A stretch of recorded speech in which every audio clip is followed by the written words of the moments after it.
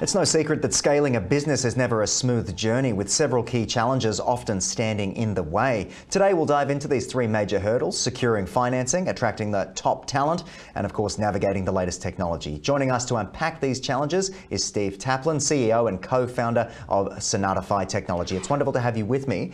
How can businesses secure that financing needed to scale? It's a question on a lot of people's minds, especially at the moment.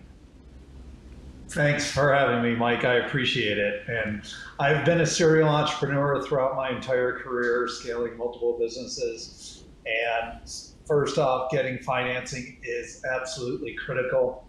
Um, making sure you have the right business plan to either attract investors, secure bank financing, or putting your own money in is really key. And the most important thing is to ensure you have a plan to go about it.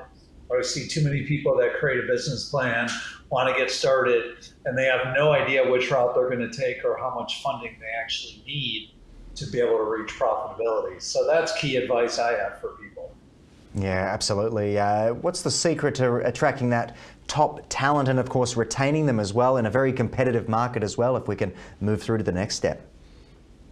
You bet. Um, no doubt. The secret to attracting top talent is selling your mission what your company is trying to do, what you are uh, aspiring for, and the culture that you have within the company. Uh, I have seen more times than not people, it's not about the highest pay or the most flexibility. It's about being with a company that they could truly stand behind the mission and have a shared culture.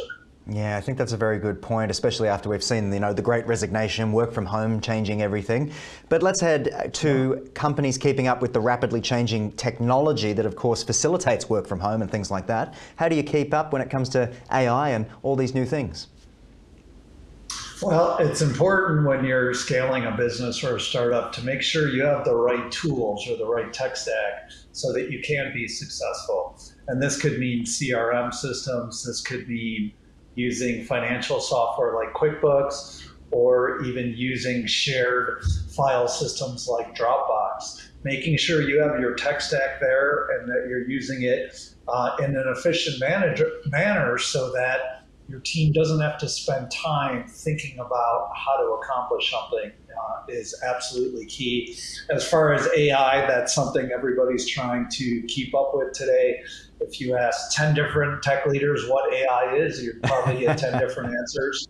And a good place to start is ChatGPT um, and the insights it can provide you.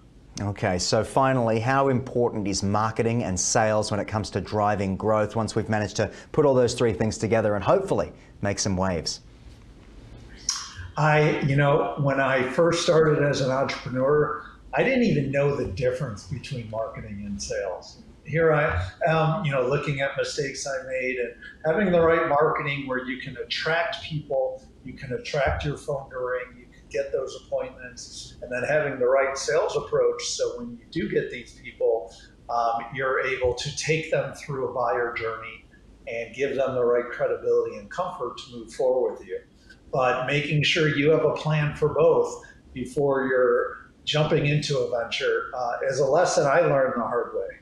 Yeah, of course. And it's those lessons that are so valuable. Steve, I'm curious to know a little bit more about your team and the work that you do now that we've taken all of those lessons and picked your brain for those insights. Tell us a little bit about you.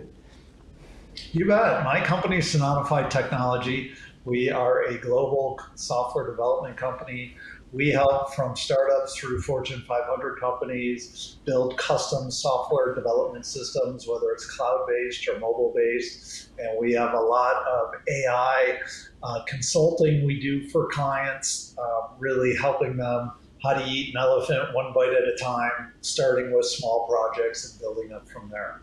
Wonderful stuff from you. And of course, if people want to find out more, perhaps learn a little bit more from you, where's the best place to do?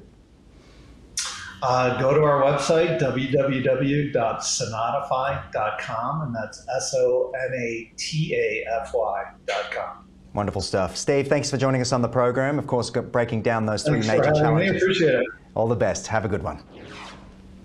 All right, of course, this has been Ticker. Hopefully, you've learned something from our discussion. Some very good points presented very clearly for you from Steve there. Anyway, I look forward to seeing you all again very soon. Don't go anywhere.